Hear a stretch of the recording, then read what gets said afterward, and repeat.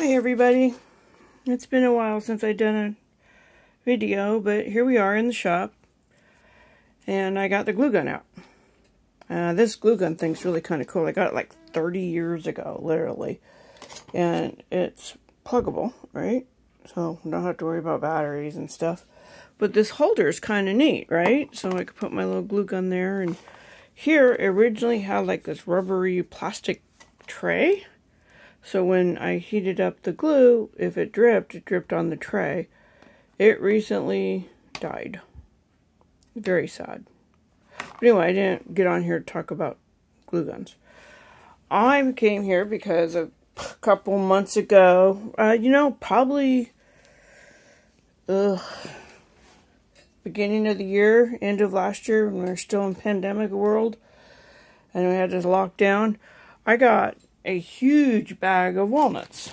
And as I cracked them open to eat them, of course, I tried to make nice walnut shells, right? And uh, I don't know why, but, you know, what do you do with walnut shells? I mean, you can make little turtles, or you can make little ladybugs. You can do quite a few things with them, but I wanted to do something different. So, some of you might have recalled earlier this year I made these little mushrooms out of end caps for dowels and rods, wooden ones. Just made little teeny tiny mushrooms. Ooh, my hands are filthy, huh? And got those all. So those all come together with something I call in a nutshell. And not sure if I'm going to continue doing them, but just stuff I've already had. So here's the walnut shell. And here are my mushrooms, here and here, and just some moss and some feathers. And a little dude I've had forever. And then I made a froggy one. Right, I was thinking it would be really cute if I could make a little fly up here, which I think I might do. And then, of course, you got to have the one with the birds. Right? While I was at it, I had a. See if you can see in there. See that? I had one of these broken little wooden flower pots. So I decided to make a little thing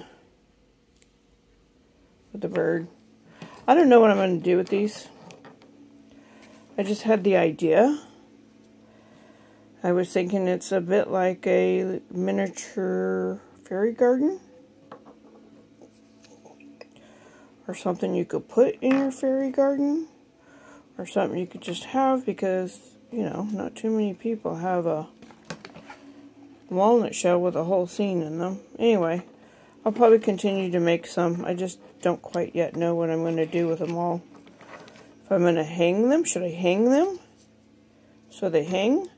Or should I build little stands so they can be held, sit on the stands?